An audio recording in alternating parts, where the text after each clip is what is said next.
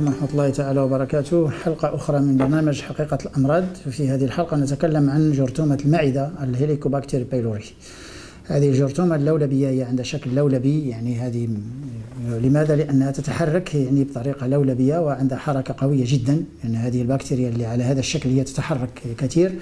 هذه البكتيريا تصيب المعدة لماذا؟ لأنها تفرز يعني أنزيم بروتياز وهذا الأنزيم هو الذي تحلل به يعني نسيج المعدة وتحذر بعد تحدث بعد الثقب في المعدة وهذه الجروح أو الثقب لما يصلها شيء حامض لما يكون الأكل يصلها شيء حامض فيحس الشخص يعني بحريق يعني بألم شديد في المعدة. وهناك حالات لا تصل إلى الألم لكن تكون عند هذه البكتيريا آه، يعني بشكل مرتفع يعني بتركيز مرتفع.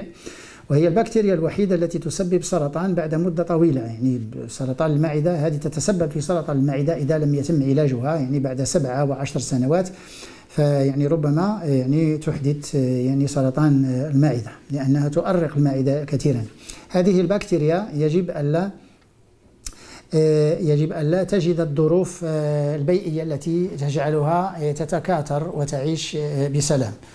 فمن جملة الأشياء فيجب على الأشخاص المصابين بهذه الجرثومة آه، أن يوقفوا المواد التي تهضم في وقت طويل. لأن كلما بقي الأكل في المعدة لمدة طويلة كلما انتعشت هذه البكتيريا طبعا آه، ونتكلم عن اللحوم.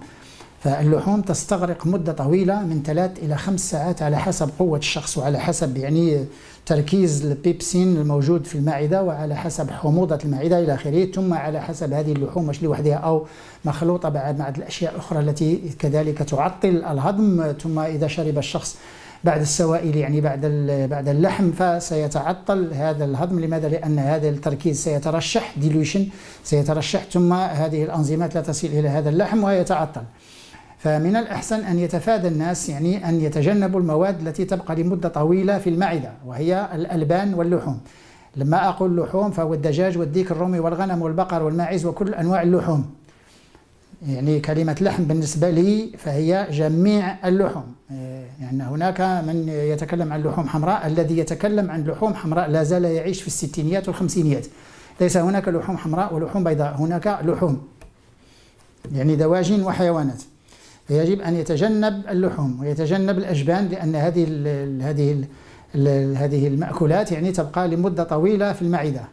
وأن أن يكون تكون تغذيته نباتية تقريبا ب 95 إلى 97% تغذية نباتية. وأن يكون زيت الزيتون طبخ عادي تحت على نار هادئة وأن لا يكون مقليات وأن لا يكون حلويات مخلوطة مع بروتينات.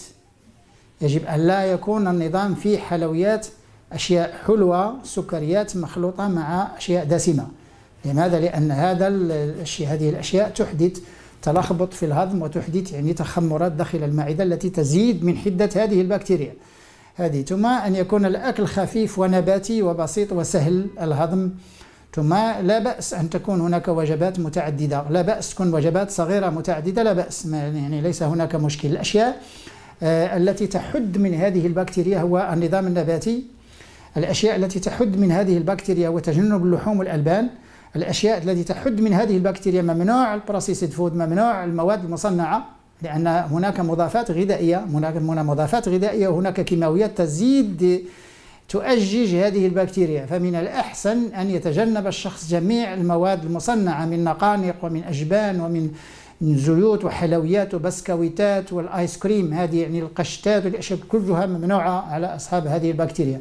يجب أن يأكلوا طبخ المنزل وأن يقتنوا أشياء طبيعية والشخص إذا احس بالجوع من الأحسن أن آه، يأكل فواكه فواكه جافة أو فواكه طرية يعني عوض ما يشتري يعني بسكويتة أو شوكولاتة أو اشياء يعني يأخذ فواكه أو يأخذ يعني سلطة خضر أو أشياء هكذا يكون أحسن.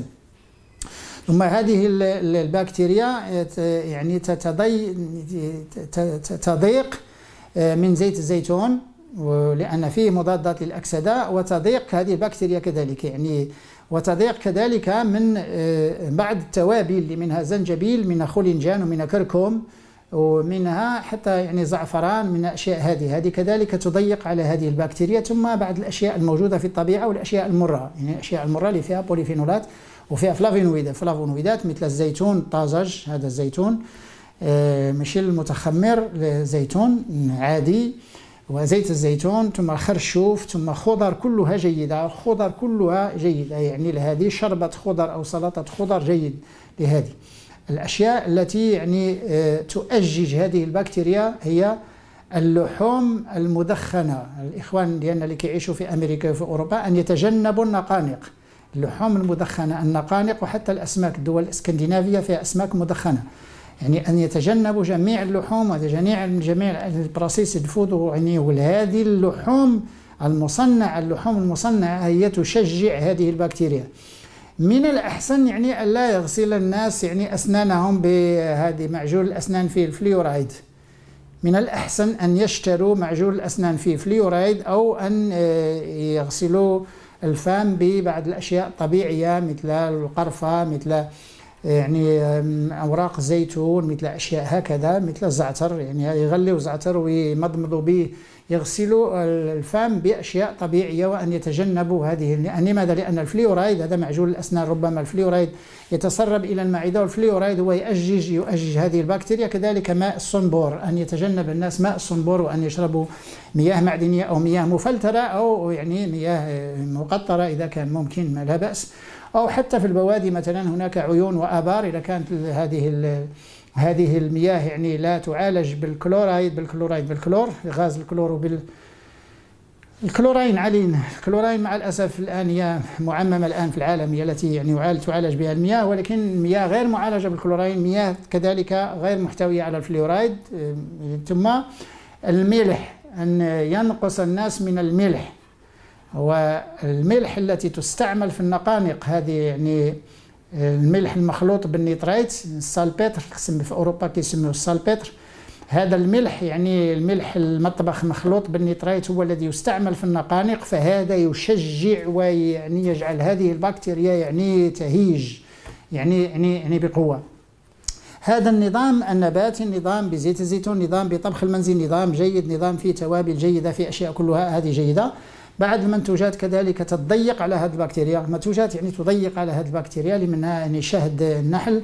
منها أكبر بروبوليس إخوان ديالنا في أمريكا وفي أوروبا على البكتيريا. هذه من ال Helicobacter py pylori الان موجودة في إفريقيا وفي آسيا وفي كل الدول. ولكن إخواننا اللي في أمريكا وأوروبا عندهم يعني حتى دول الخليج هذو الجالية المغاربية اللي في دول الخليج كذلك عندهم هذا عكبر النحل هذه بروبوليس فهذا البروبوليس هو يباع كبسولات يعني أربع كبسولات في اليوم مع هذا النظام النباتي الذي تكلمنا عنه. إن شاء الله يكون خير. إنما ممنوع منعا كليا الأشياء الباردة التي تخرج من الثلاجة مياه أو أي شيء بارد ممنوع الأشياء الباردة لأن هذه الأشياء الباردة هي تتعطل في المعدة حتى تصل إلى درجة 36 والأغذية التي تتعطل في المعدة هي الأغذية التي تشجع هذه البكتيريا.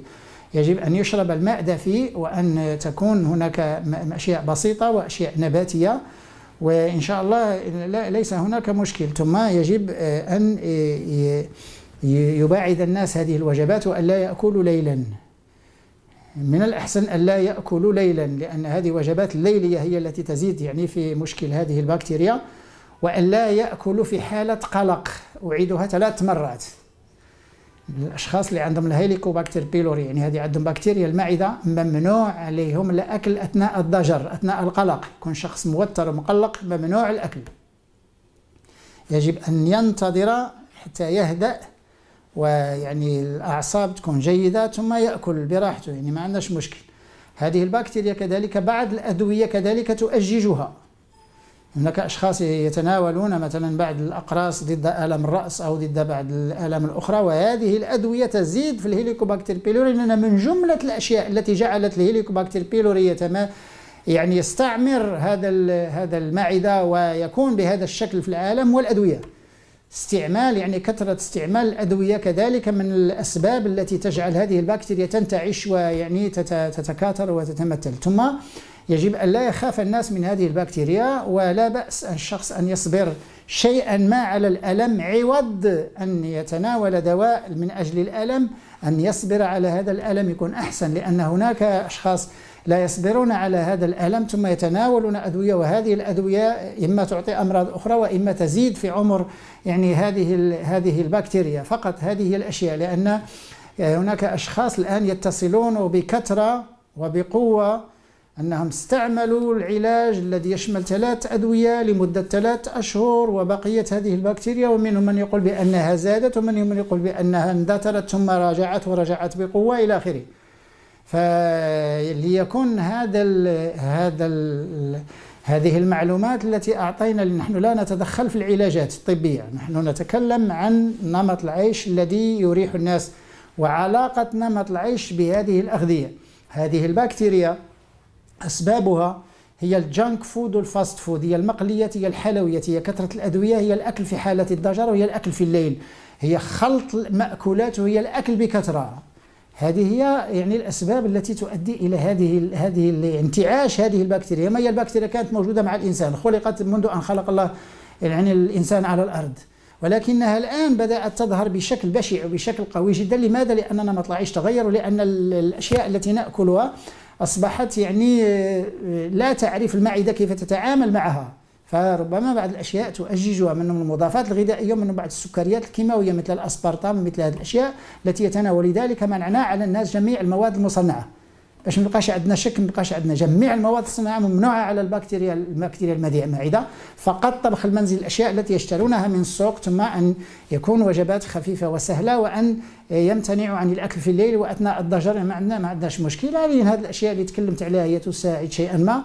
هي تريح يعني ونظام وليس خلطة نظام يعني, الأكل الذي يعني يضيق على هذه البكتيريا. يعني حتى بعد الفواكه لما تؤكل يعني بهذا المذاق المر مثل الرمان مثلا يعني شحم الرمان الرمان يؤكل بشحمه مثل الصفرجل مثلا يؤكل طازج يطحن مع الماء ويؤكل طازج آه، مثل بعد هذا الخرشوف كذلك يغل هذا خضرة خضرة الخرشوف على شكل شوربة أو يؤكل هكذا منها آه، آه، الزيتون حبوب الزيتون وأوراق الزيتون كذلك يعني شاي أوراق زيتون يعني هذه أشياء كلها جيدة هي ليست خلطات وكان الناس كانوا يعملون هذه الأشياء يعني حتى مشروب الزعتر يعني شاي الزعتر أو شاي أوراق الزيتون أو شاي يعني أوراق صنوبر أو شاي أوراق الرمان أو يعني زن شراب الزنجبيل أو شراب الخولنجان أو شراب الزعفران شاي الزعفران كذلك جيد. هذه كلها أشياء جيدة هذه ليست خلطات هذه أشياء داخلة في نمط عيش الإنسان ونمات النظام الغذائي إن شاء الله الإنسان يعني نكتفي بهذا القدر إن شاء الله. السلام عليكم ورحمة الله تعالى وبركاته.